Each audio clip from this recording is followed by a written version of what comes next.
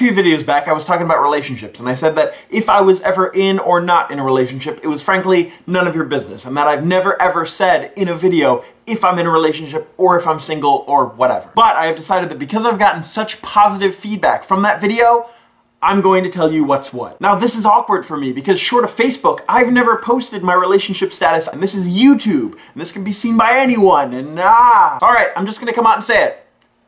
I have a girlfriend. There you go, that's a thing. I have a girlfriend.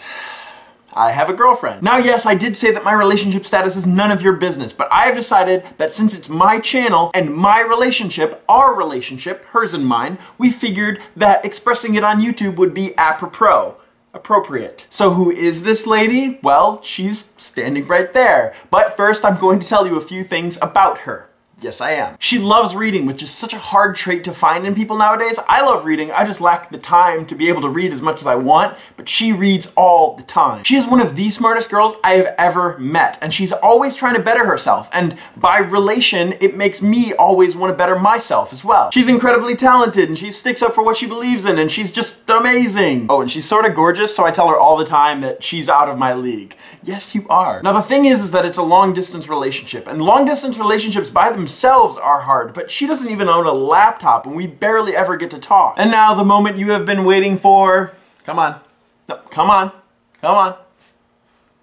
My girlfriend.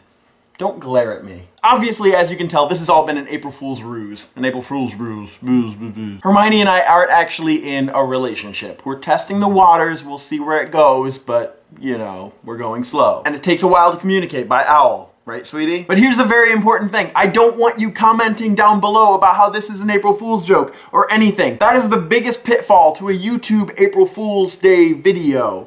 Go down below, congratulate me on my new girlfriend. Say whatever you want, but don't say that it's an April Fool's joke because there are a lot of people who go to a video and while it's loading, they will read the comments. And you don't want it to be ruined for anyone else if it wasn't ruined for you. And if you see anyone down below saying, oh, this is an April Fool's joke or good one, Travis, you really fooled told me. Go thumbs them down or click the spam thing or something. I'll get to deleting their comments or whatever. We need to make this seem legit so people don't realize until right then that it was a joke. Hope you guys have a good April Fool's Day. Don't pick up any quarters off the ground. They might be glued there. That's one that I did a couple years ago. It was hilarious. All right, bye.